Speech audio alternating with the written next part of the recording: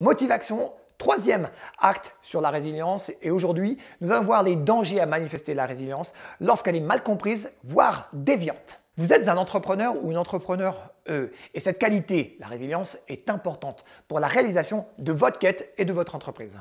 Cependant, parfois, elle peut être détournée par l'ego, une force excessive ou une pugnacité aveugle.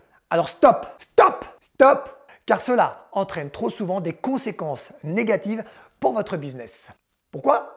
Parce qu'il y a trop souvent de confusion sur les composantes de cette qualité indispensable. Et en effet, il est extrêmement important que résilience ne rime pas avec endurer la douleur et la souffrance sans fin.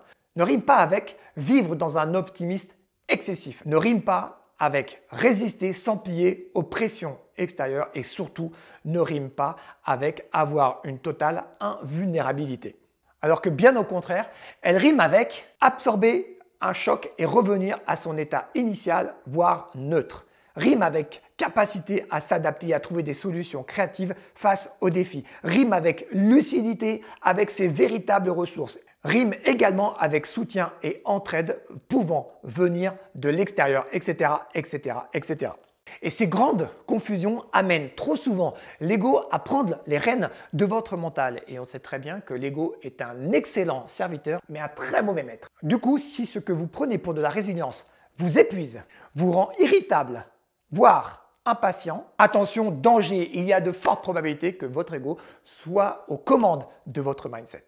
Et si pour optimiser cette qualité indispensable, il suffisait de cultiver flexibilité, humilité et compassion avec soi-même. Car en adoptant cette posture, les bénéfices seront multiples et significatifs pour votre vie entrepreneuriale et également votre vie personnelle. Comme une réduction du stress lié à l'incertitude, des choix plus éclairés, plus créatifs face aux défis entrepreneuriaux, des relations professionnelles sans faux semblants car authentiques, et une meilleure santé mentale et une meilleure qualité de vie globale.